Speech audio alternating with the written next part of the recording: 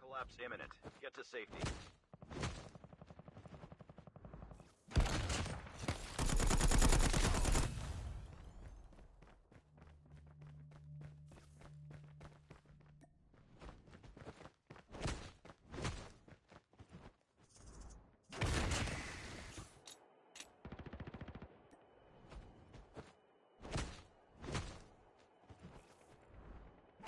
The airdrop is coming.